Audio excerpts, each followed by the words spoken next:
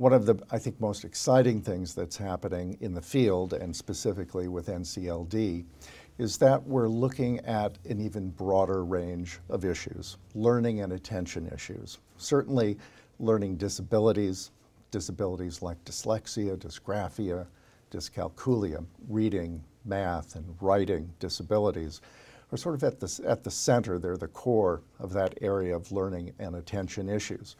But we're, we're really considering um, a group of people and addressing a group of people that constitutes one in five. It's 20% of the population.